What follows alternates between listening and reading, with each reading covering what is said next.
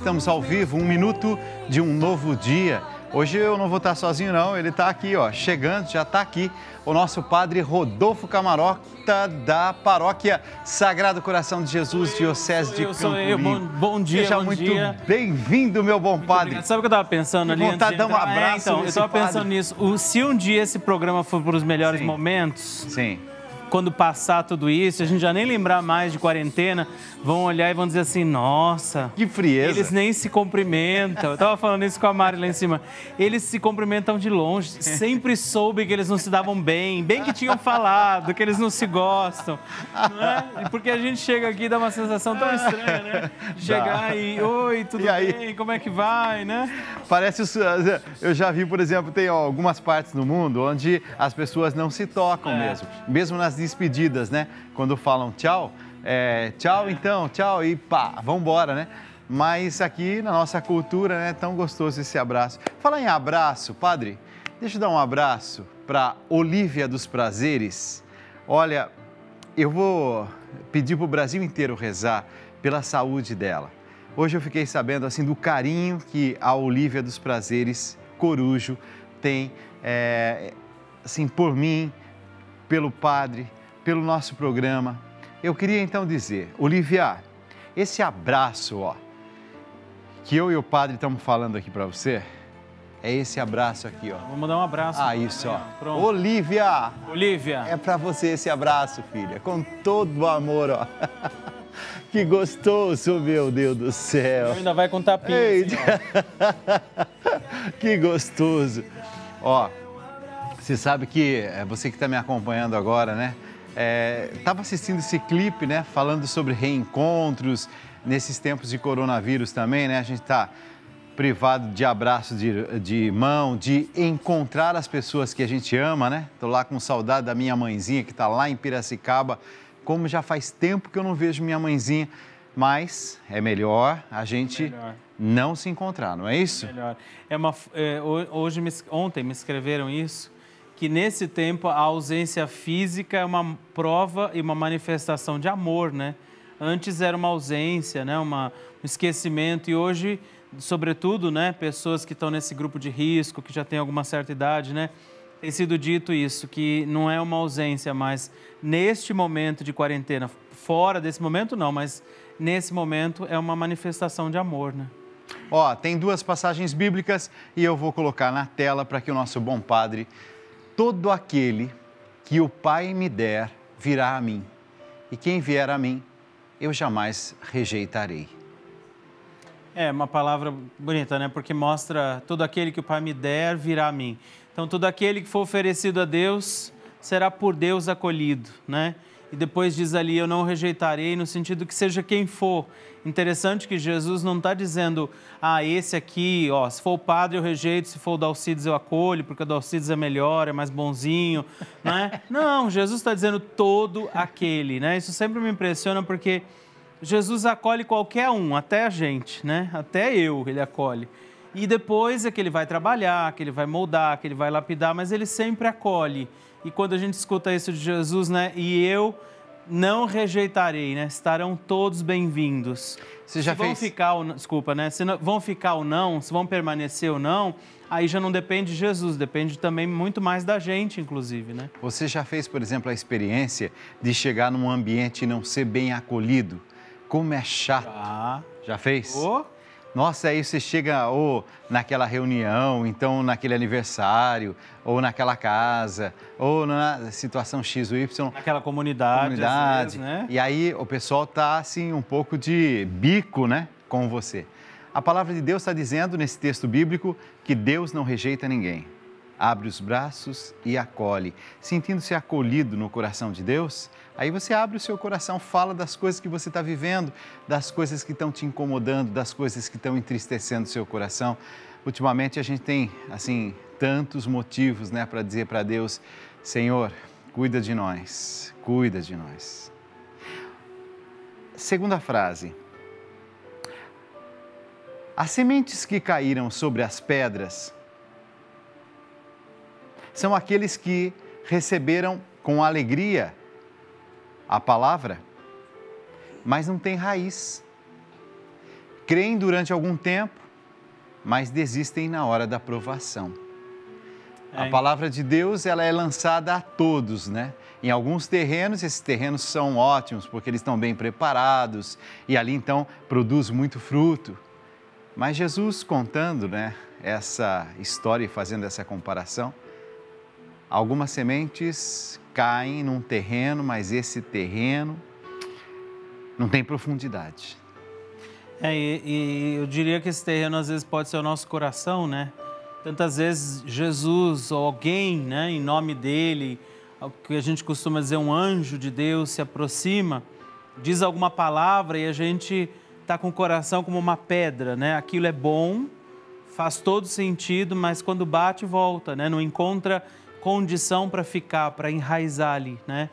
E isso é tão ruim porque a gente às vezes até reclama disso, né? Reclama, ah, porque Deus não olhou para mim, ah, porque Deus não falou comigo, ah, porque Deus não fez, fez para ele, não fez para mim, olhou e abençoou a vida dele, não abençoou a minha. E muitas vezes o problema não está naquele que vem, né?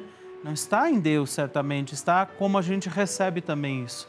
Né? Esse terreno, a minha vida pode ser essa pedra que, que recebe algo que não consegue ficar, então bate e depois não encontra lugar para ficar, né? não encontra condição de se enraizar, diferente do terreno que depois a palavra também diz, né?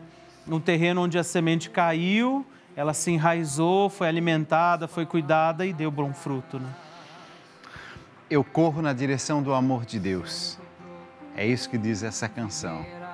Corro para o teu amor, Senhor. Pensa nisso. Até meu coração enfim te encontrar.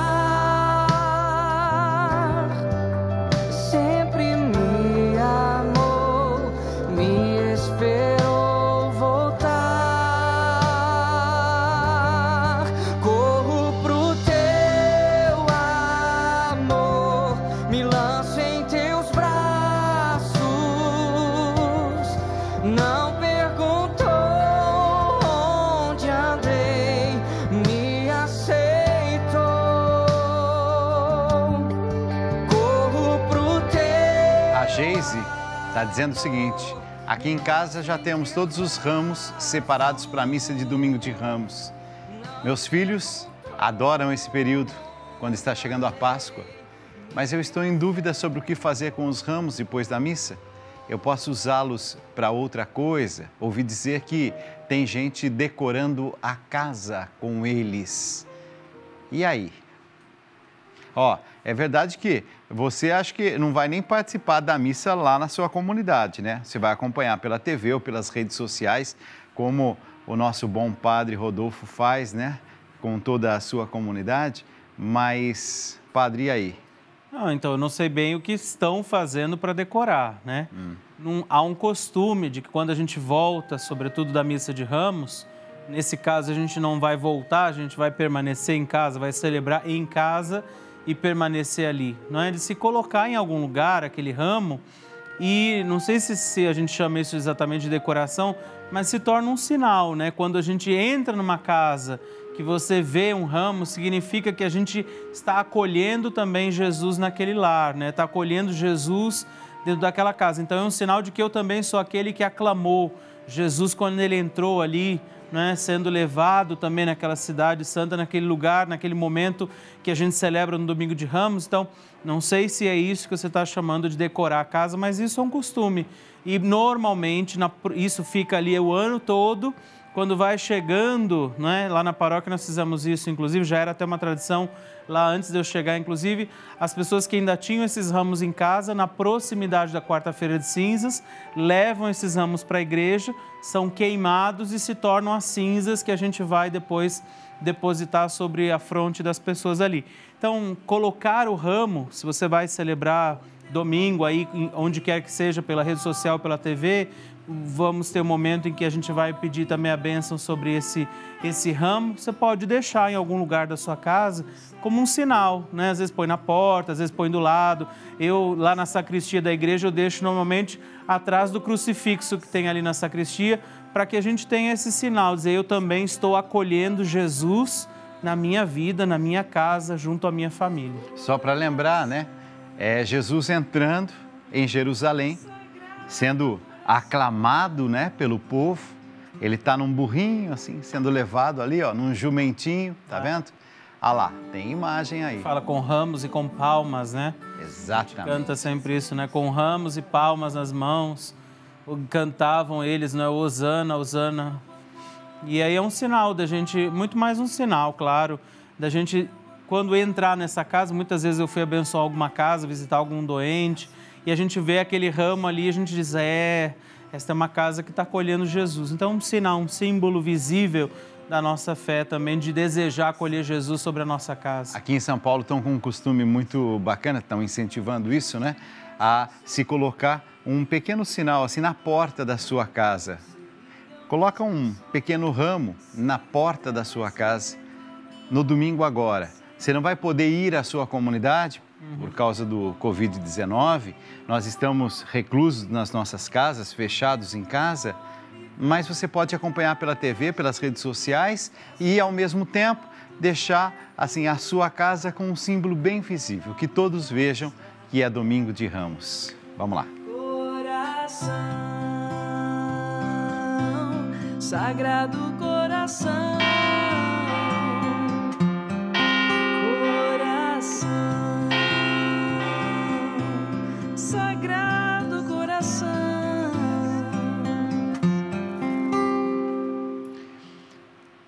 Senhor, abençoa agora todas as pessoas que estão se preparando para o domingo de Ramos.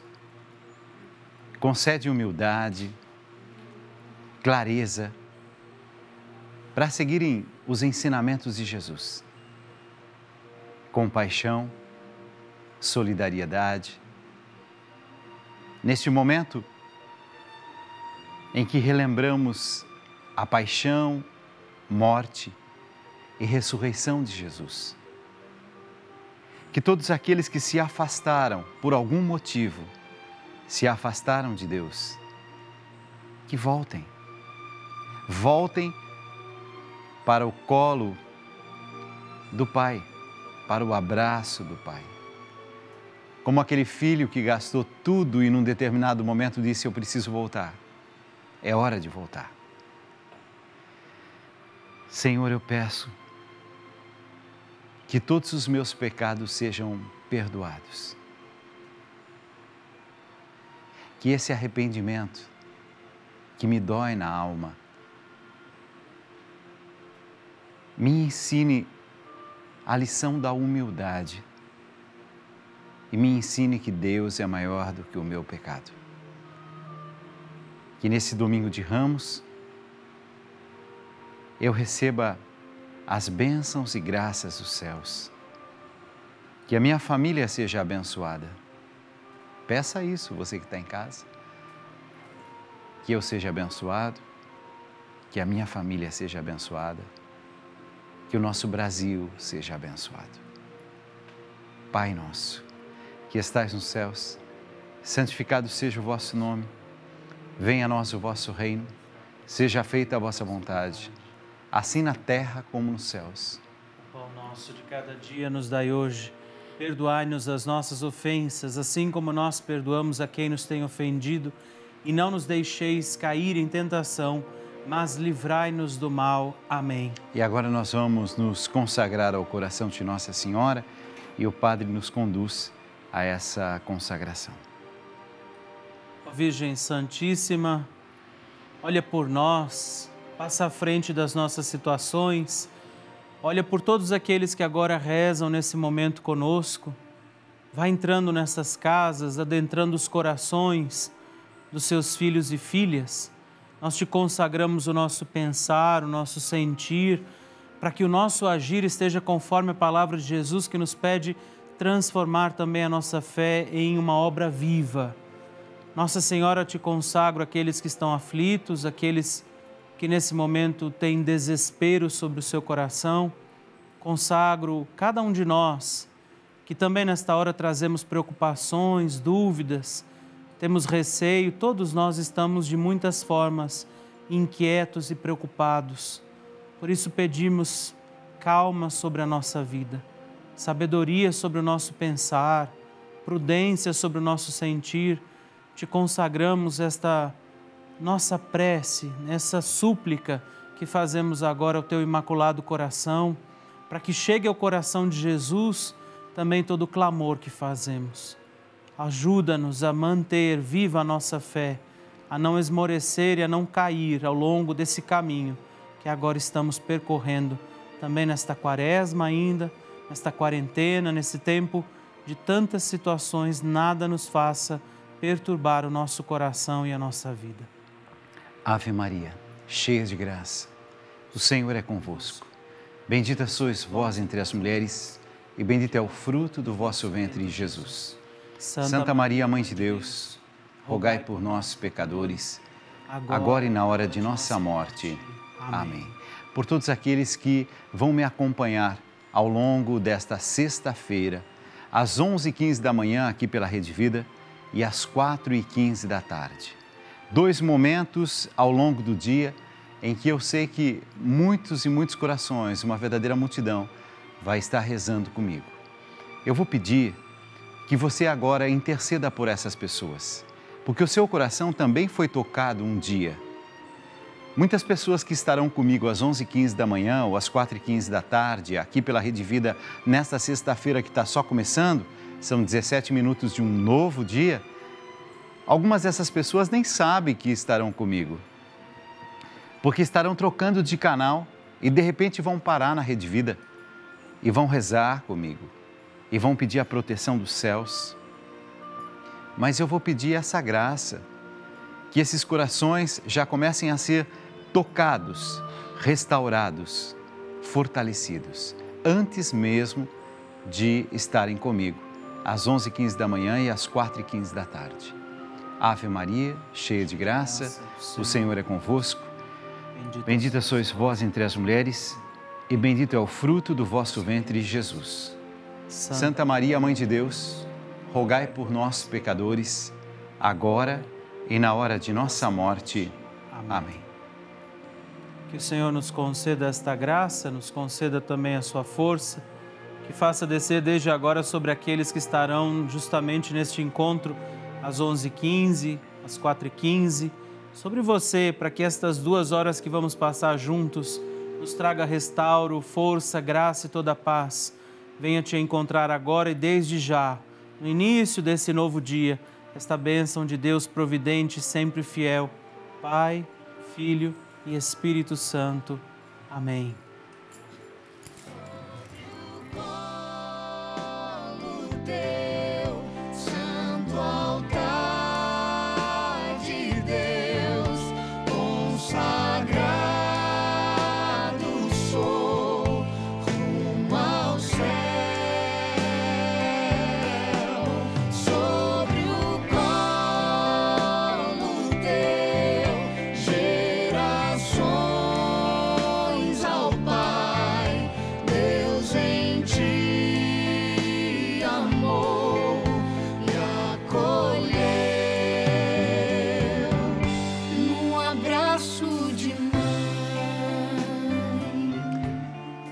Cláudia de Patos, Minas Gerais, agradeço por fazer parte dessa obra. Sou benfeitora com muito amor. Seu programa nos faz ser uma pessoa melhor a cada dia. Que Deus abençoe todos nós, somos todos irmãos, só gratidão. Cláudia, olha que interessante, né? É, você está entre aquelas pessoas que dizem assim: é, eu sou benfeitora com muito amor.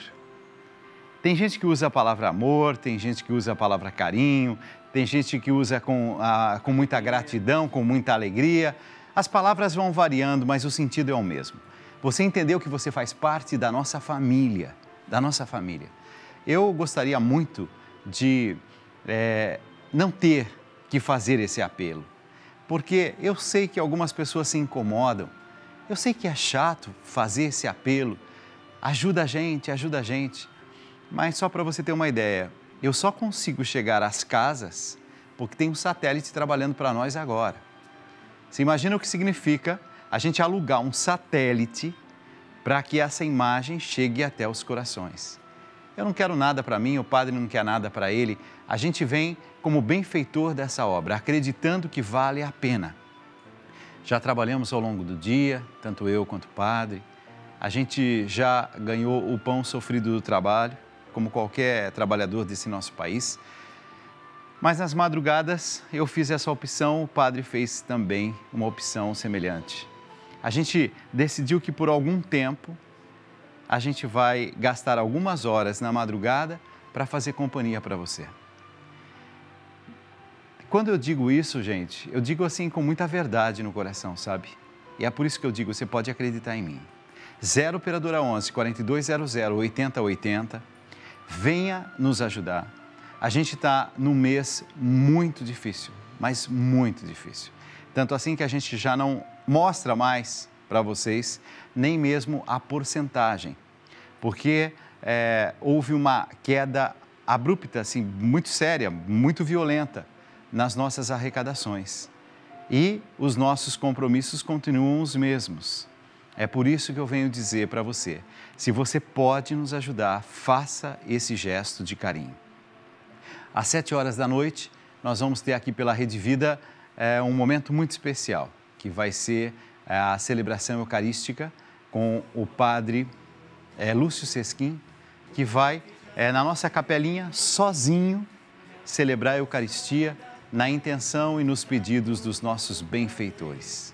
Padre Lúcio tem um recadinho para nós. Fala, Padre Lúcio.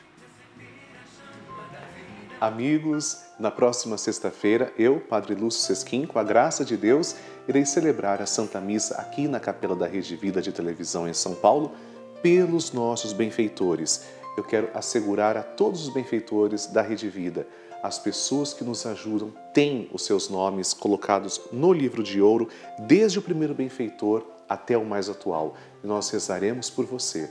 Que Deus te abençoe e te proteja sempre. Em nome do Pai, e do Filho, e do Espírito Santo. Amém. Salve Maria.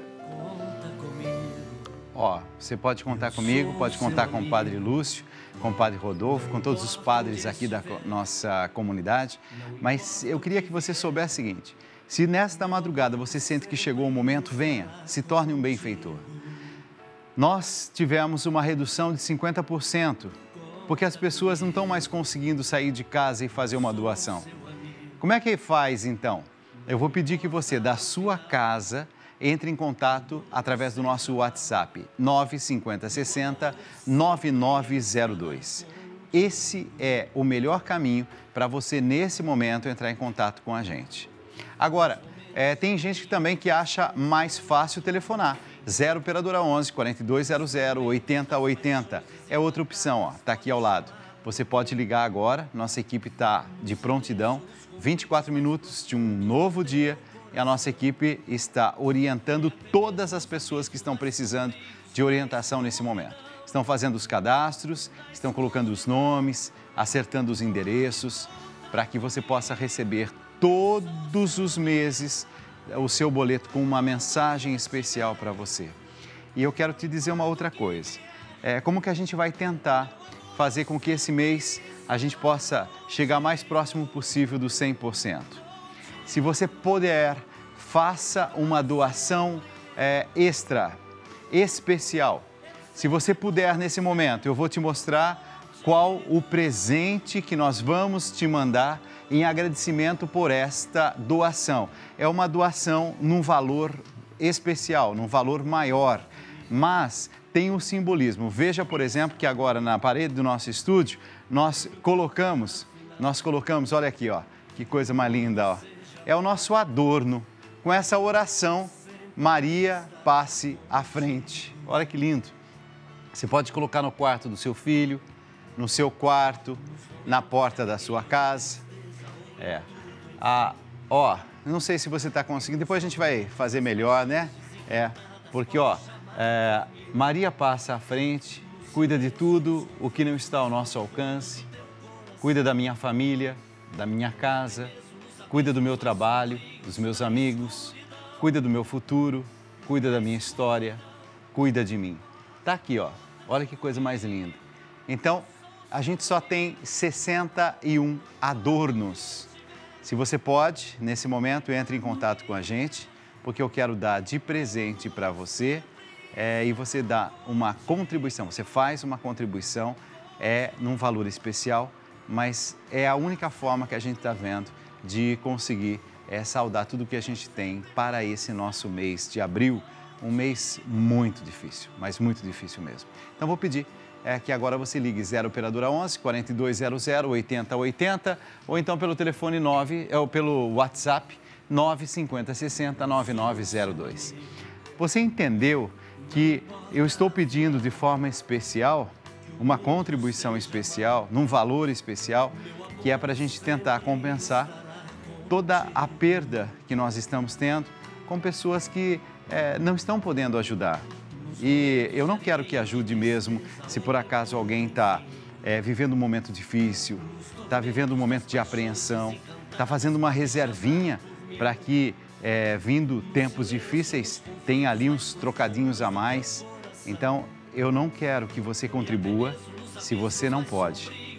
Mas se você pode, às vezes 30 reais, Dalcides não vão me fazer falta tem gente nesse nosso país que pode doar 30 reais e não vai fazer falta. Se não vai fazer falta para você, me ajuda a levar adiante essa missão. Você sabe que você pode contar comigo, mas de forma especial, nesse momento difícil, eu conto muito com você.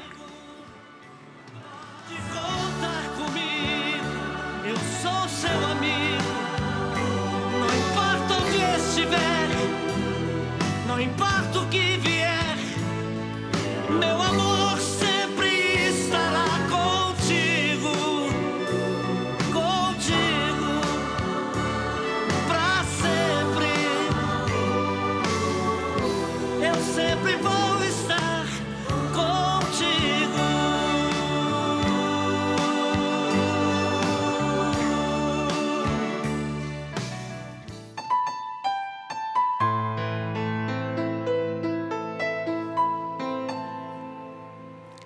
E assim como Dalcides começou o programa, lembrando a gente que justamente o domingo de Ramos está chegando, né? daqui a alguns dias. Nós estamos iniciando já a sexta-feira que antecede esse domingo de Ramos. Claro que em tempos de crise, eh, em tempos de quarentena, como estamos vivendo, certamente o jeito de celebrar esse momento será completamente diferente. Cada um vai estar na sua casa, como escreveu a nossa irmã ali tirando também a sua dúvida, vamos acompanhar pelas televisões, pelas redes sociais, ou claro, aqui pela Rede Vida, como você já sabe, provavelmente. O domingo de Ramos, e no domingo de Ramos a gente entende, Jesus entra em Jerusalém. O povo aclama com ramos, levando eh, ramos nas mãos, palmas, e ele é levado por um jumento. Há um significado muito interessante, muito bonito para tudo isso. Há um significado interessante, importante, onde você vê aí Jesus entrando, sendo aclamado por aquilo que, que ele viveu, por aquilo que ele fez. A humildade com que Jesus chegou em Jerusalém é talvez a primeira coisa que a gente pode, pode trazer, pode lembrar, como você via aí, ele entrando, sendo aclamado, mas com muita humildade. Por isso, há uma importância grande nesse momento em que a gente também dedique a nossa oração para que ela alimente também a nossa fé. Nesse tempo de quarentena e nesse tempo eu diria que você vai celebrar esse domingo de ramos aclamando também Jesus. Dalcide citou inclusive aqui que muitas pessoas vão colocar ali na sua casa também os ramos, vão colocar ali na frente da sua casa eh, os sinais da sua fé. Nós também somos chamados justamente a viver essa experiência, viver a experiência de também receber Jesus na nossa casa, receber Jesus na nossa vida. E por isso eu te convido, mesmo que seja para celebrar em casa, que talvez você não possa ir e, e viver a experiência de estar numa procissão, né, de sair da sua casa para ir ao encontro ali da, da, da sua comunidade. Talvez a gente celebre dentro da sala da nossa casa. Acho interessante e importante que você possa receber Jesus de fato, receber Jesus na sua vida, receber Jesus na sua casa nesse momento, naquele momento em que você estiver não só assistindo, eu diria, mas a igreja tem nos alertado, inclusive, que nesse tempo de quarentena nós não estamos assistindo à missa como faríamos em outros momentos, nós estamos participando daquela liturgia. Interessante e importante lembrar disso. Quando nós temos a possibilidade de ir para a igreja e a gente não vai, a gente está assistindo, não é? Concretamente, podemos ir, mas nesse momento é o único meio de celebrarmos a nossa fé, de celebrarmos, não é, esta entrada de Jesus na nossa Jerusalém, na nossa vida, dentro da nossa casa. E por isso eu te convido a viver esse domingo de Ramos não entristecido, sabe? Não dizendo, poxa, eu queria tanto ir para a igreja, não posso. Então, já que eu não posso ir à igreja, eu também não vou assistir, não vou ver nada, vou ficar aqui revoltado. Não. Faça isso, não é? Nesse domingo, abra aí as janelas, aclame de repente se passar também aí alguém, celebre esse domingo de ramos, não é? Agradeça a Deus pela tua vida, agradeça até mesmo pelo tempo que Deus está dando a nós dessa quarentena. Eu tenho dito sempre em todas as coisas que a gente tem feito pela internet, sempre aqui também, não é? Nesses dias que o Senhor vai trabalhar na nossa vida de uma forma grandiosa nessa quarentena, mas vai trabalhar naqueles que não tiverem com o coração como uma pedra, aqueles que deixarem esta palavra entrar, fazer morada. Por isso deseje isso, como diz essa música, entra Jesus, faz morada na minha vida. Aclamamos, aclamemos Jesus que quer entrar na nossa vida e nesse domingo eu tenho certeza vai entrar na sua vida se você permitir, vai entrar na sua casa e com a tua família vai ali fazer também morada. Abra a sua vida e receba Jesus, o acolha, o receba diante dos teus dias. Creia nisso. Entra, a porta está aberta. Senhor, não sou digno, mas vim te escutar.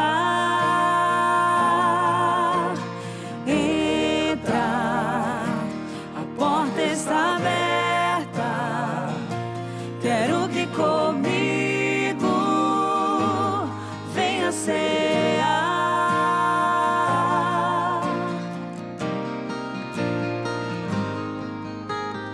Entra, Senhor Jesus, em meu coração.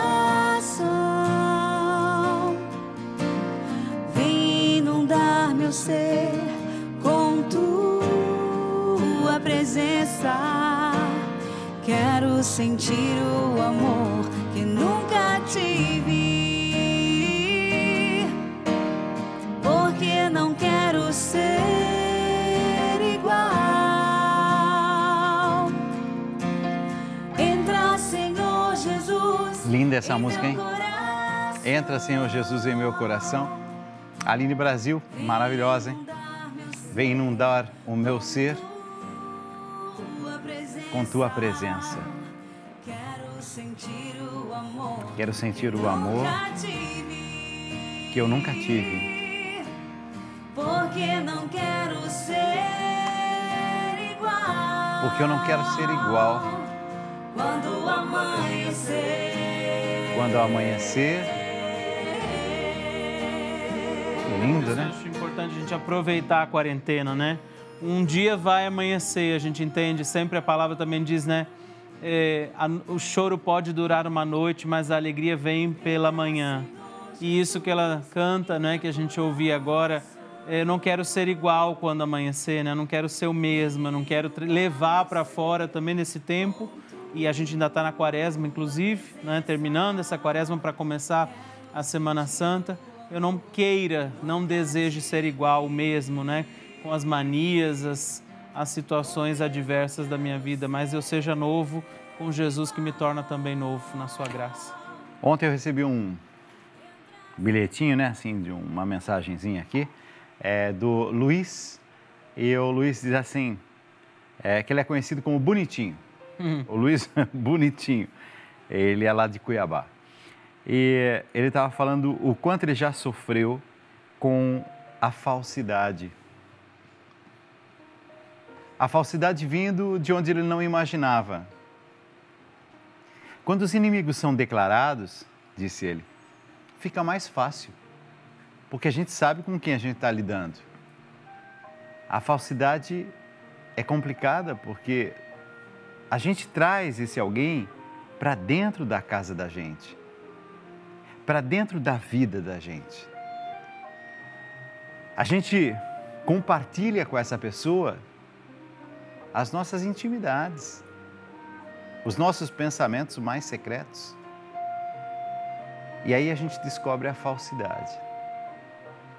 Dói demais, dizia o Luiz, o bonitinho. Dói demais. A minha produção fez um VT, um vídeo, onde a gente vai rezar juntos contra toda a falsidade. Reza comigo. Arcanjo Miguel, tu que és como Deus, levanta tua espada e protege-me contra todos os que me enganam, iludem, mentem e não me querem bem. Arcanjo da justiça e da verdade, põe no meu caminho pessoas boas e sinceras que saibam me respeitar e amar e que cuidem de mim como eu cuido delas. Sobre a luz brilhante da tua espada, sobre o calor das tuas asas divinas, sei que estou seguro e protegido. Só quem vem por bem se aproxime de mim. Amém. Amém. Eu sinto no coração é, de um desses três envelopes, mas eu quero pedir a luz do Espírito Santo. Vinde, Espírito Santo, enchei os corações dos vossos fiéis e acendei neles o fogo do vosso amor. Enviai vosso Espírito e tudo será criado e renovareis a face da terra. Oremos. Deus que instruísse os corações dos vossos fiéis, com a luz do Espírito Santo, fazei que apreciemos retamente todas as coisas, segundo o mesmo Espírito, e gozemos sempre da sua consolação. Por Cristo Senhor nosso. Amém. O envelope número 2 tem uma mensagem. Eu vou deixar essa mensagem que vai ser uma resposta para alguém que está me acompanhando agora, está precisando de uma luz, está precisando de uma palavra, está precisando de um sinal de esperança. Mas eu vou deixar na mão certa, na mão do Padre. Tempos de, de penitência, tempos de quaresma, mas não tempos de tristeza.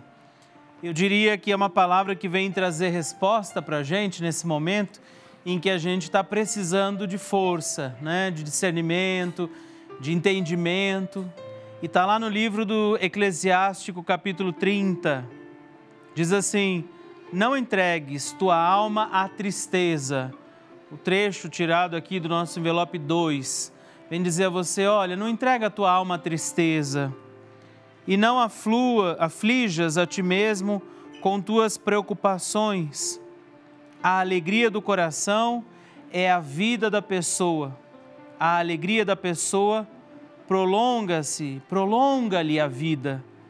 Tem compreensão contigo mesmo e consola o teu coração, afugenta para longe de ti a tristeza. A tristeza matou a muitos, diz a palavra, e não traz proveito algum.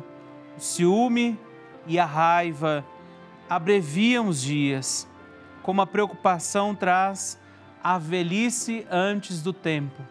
Essa é uma palavra absolutamente própria, né, para esse tempo que a gente está sendo provocado à tristeza, provocado à murmuração, provocados e provocadas aí a, a ter pânico, medo, a não acreditar, não confiar, não esperar.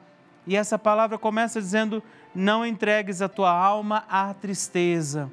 Nesse tempo em que a gente está vivendo, nas dificuldades desse momento, diante desta situação que nos ameaça de fato, que vem rodear assim o nosso caminho, a nossa vida, vem nos tirar da nossa rotina, do convívio entre nós, esse convívio físico próximo, tão necessário à nossa vida, mas a palavra diz: não se deixe vencer nesse momento. Não se deixe contagiar por aquilo que vem matar. Ele dizia, a palavra dizia, a, a tristeza matou a muitos e não traz proveito algum. Nenhum proveito, diz a palavra. Por isso que a gente possa abandonar nesse momento, desejar e rezar por isso, aproveitar também hoje o nosso programa, a novena que vamos viver, rezar, pedir a Nossa Senhora que ela arranque de nós, de fato, essa tristeza que vem envelhecer a alegria, que vem assim murchar os dons que Deus nos deu, que vem romper a nossa ligação tão bonita e tão profunda com o Senhor, que a alegria do Senhor seja a nossa força. É isso que em outro momento a palavra diz. E por isso, nesse momento, essa palavra tirada no envelope 2, ela combate a tristeza, porque a tristeza não vem do Senhor. A alegria, a alegria do Senhor, ela é a nossa força. Pensamos a Deus essa graça, portanto, de alimentar em nós, seja em quarentena, seja diante de problemas, de situações, seja diante de ameaças, seja diante de renúncias, seja diante desse momento em que a gente tem que abrir mão de um monte de coisas para salvar o bem maior que é a nossa vida, a gente lembre de renunciar, lembre-se de renunciar à tristeza, porque a alegria do Senhor é que é a nossa força. Pensa nisso.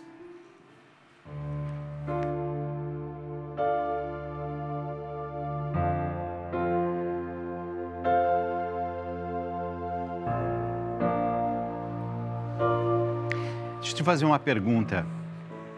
Quantos amigos você tem? Mas eh, eu estou falando agora assim, amigos de verdade mesmo. Quantas são as pessoas que você pode dizer, nesse eu posso confiar?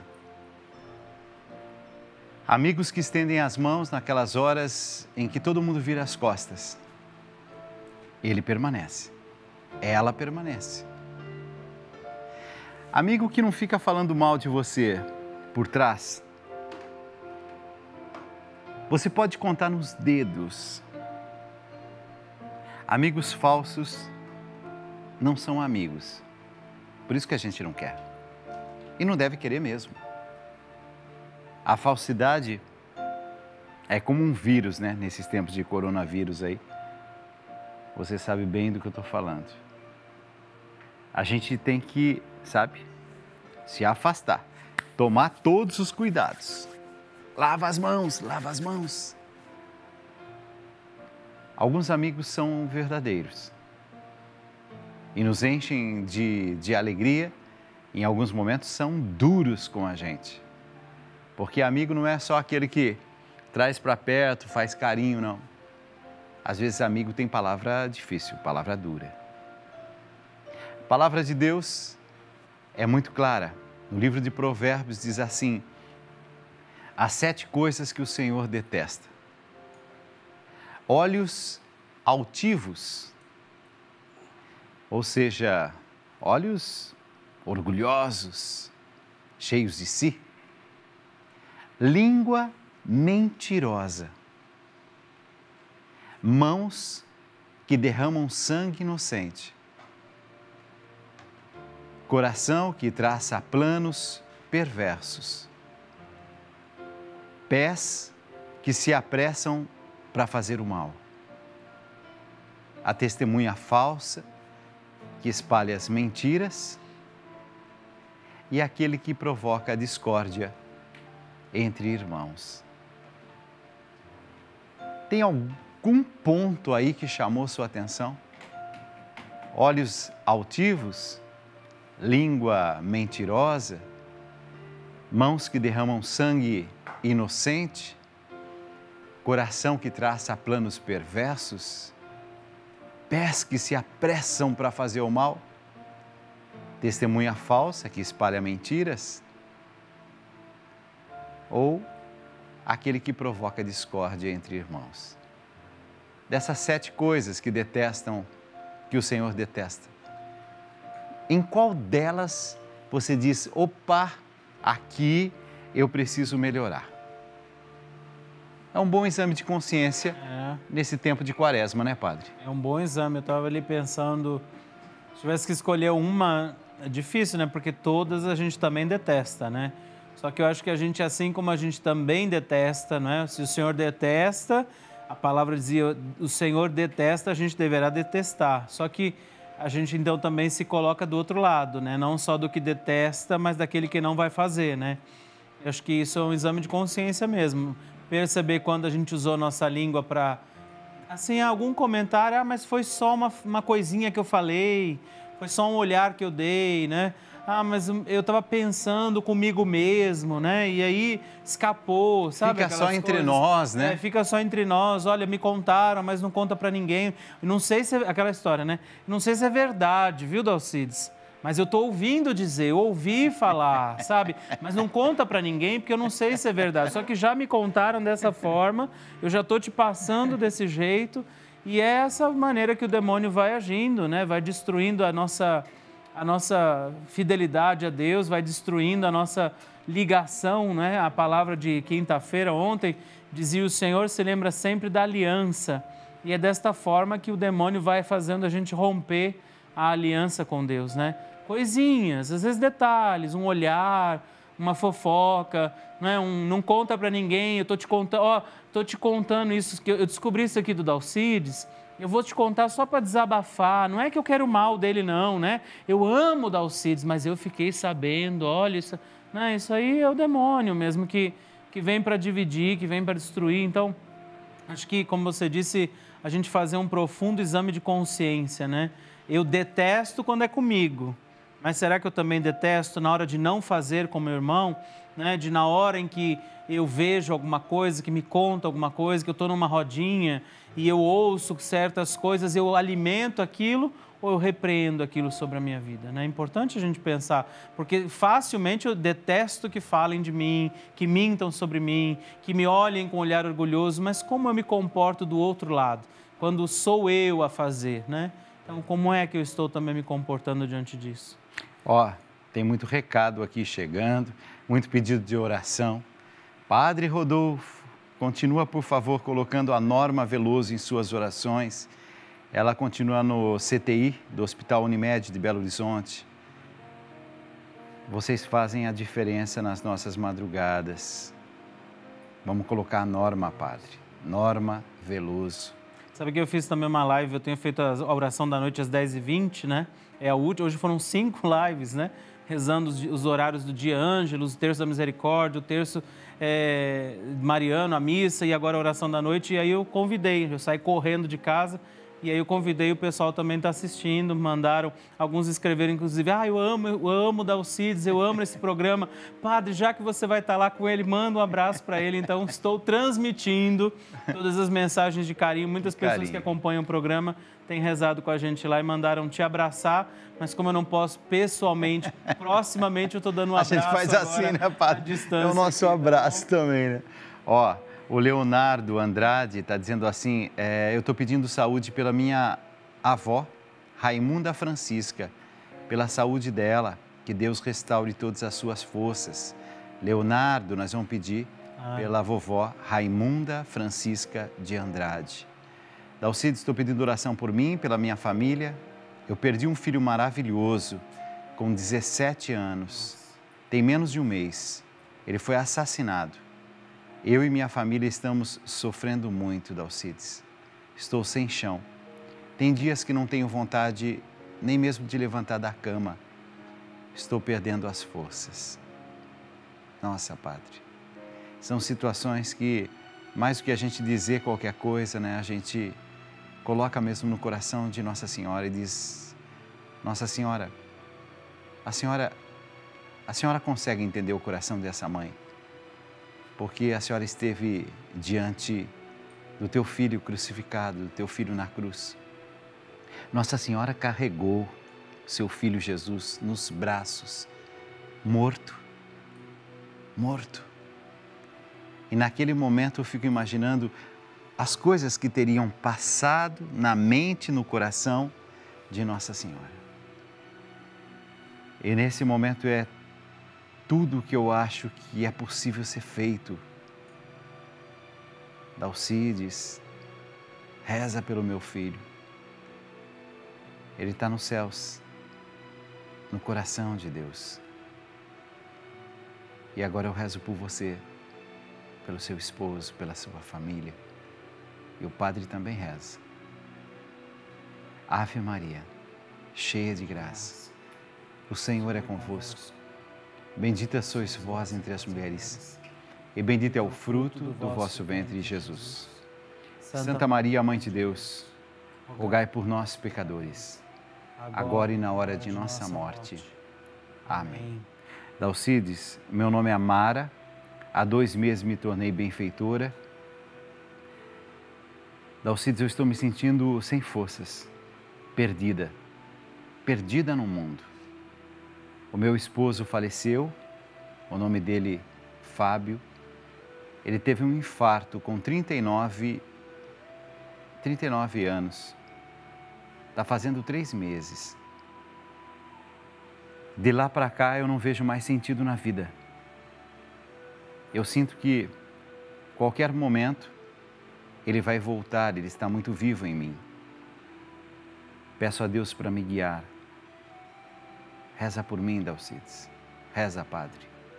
Pela alma do meu esposo, Fábio Vitaliano Porfírio. Ave Maria, cheia de graça, o Senhor é convosco. Bendita sois vós entre as mulheres, e bendito é o fruto do vosso ventre, Jesus. Santa Maria, Mãe de Deus, rogai por nós, pecadores, agora e na hora de nossa morte. Amém. São tantas as situações, tantos os problemas, que nesse momento eu quero dizer para você que está em casa agora rezando, você não está sozinho, não. Você não está sozinho. Há uma multidão que agora reza com você, que clama aos céus, que pede por você. Coloca a mão no coração nesse momento e vai pedindo a luz do Espírito Santo para te inspirar a sabedoria. Vinde, Espírito Santo, enchei os corações dos vossos fiéis e acendei neles o fogo do vosso amor. Enviai o vosso Espírito e tudo será criado e renovareis a face da terra. Oremos. Deus, que instruístes os corações dos vossos fiéis. Com a luz do Espírito Santo, fazei que apreciemos retamente todas as coisas, segundo o mesmo Espírito, e gozemos sempre de Sua consolação por Cristo Senhor nosso. Amém. E você vai sentir uma paz nesse momento muito grande. O Brasil todo reza por aqueles que mais precisam. Você que está de quarentena, está se sentindo um pouco sozinho, pede ao coração de Jesus. Coração de Jesus, cuida de mim. Coração de Jesus, vem em meu socorro. Coração de Jesus, fazei o meu coração semelhante ao vosso. Coração de Jesus. Oh, coração de Jesus. Tenho abrigo perfeito contra qualquer perigo.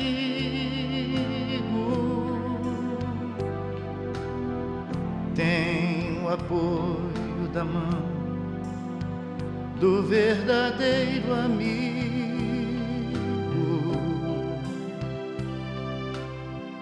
O coração de Jesus ilumina minha alma. O coração de Jesus me dá força, me acalma. Sabe que nesse final de semana a gente celebra, mesmo que nas nossas casas, né? O Domingo de Ramos. É um dia muito especial que nos faz lembrar a entrada de Jesus em Jerusalém. Hoje no Escolhas da Vida, meu programa ah, logo pela manhã, 11h15 da manhã, 4h15 da tarde, eu lembrei sobre esse momento e o significado dessa festa e, ao mesmo tempo, a espiritualidade que contém o Domingo de Ramos. Vamos lá.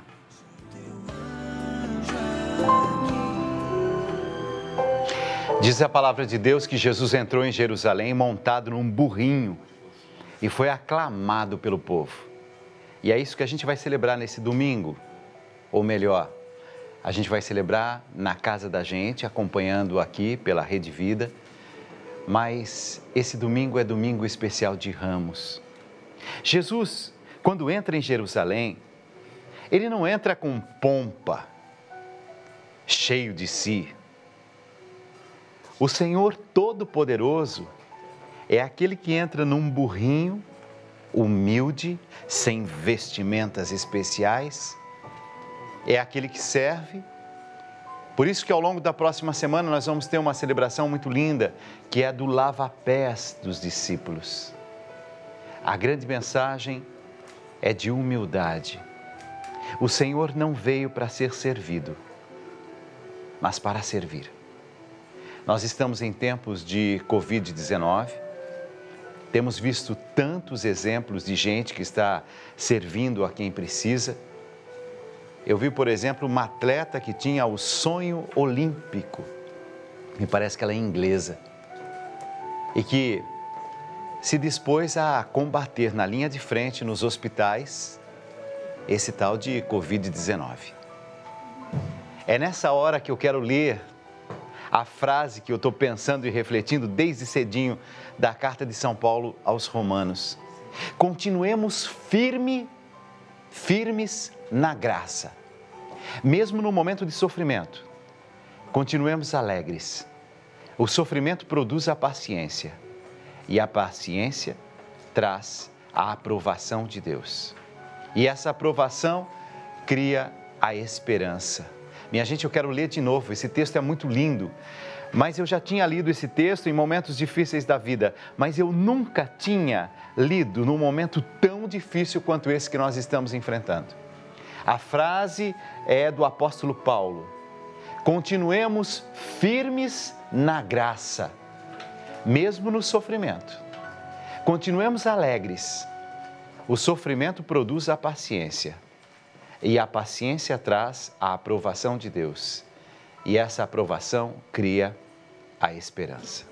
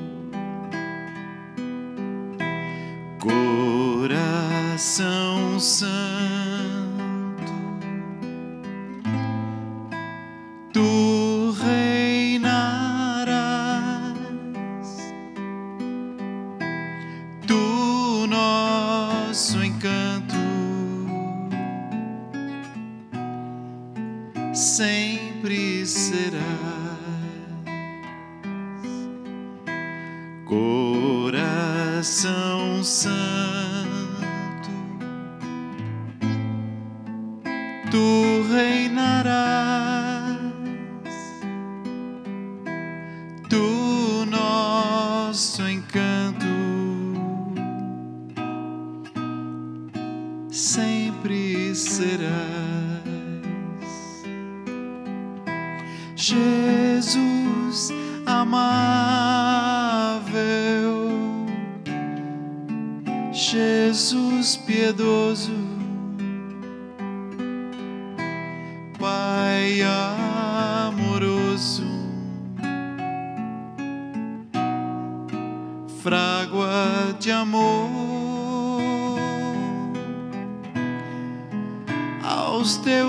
teus pés